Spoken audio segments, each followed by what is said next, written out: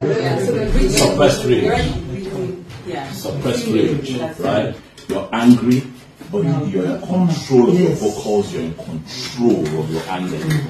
You're in charge, you're not all over the place. That's what a lot of actors do, they shout.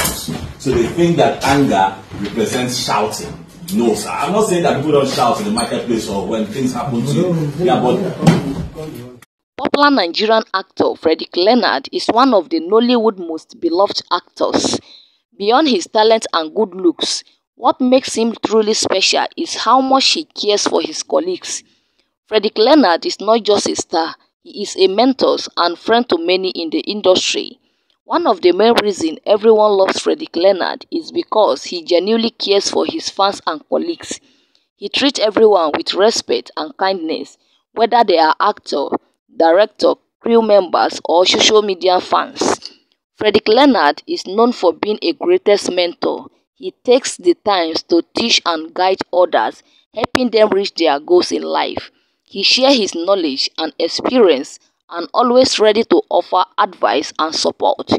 His mentorship has helped many young actors improving their skill and confidence. So guys, thanks for watching the video and let me know in the comment section what you love most about Frederick Leonard. shouting has its time and place. You cannot shout in every situation and at everything.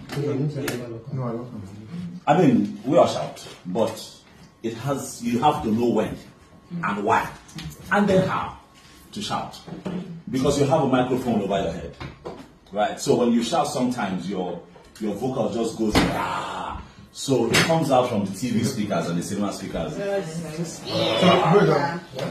So just like when you're acting, oh, you're more intense when the camera is farther away from you. As it comes closer, the acting becomes more of what happens in your mind that pops through your eyes as opposed to too much movement and gesticulation. So acting for wide and and CU.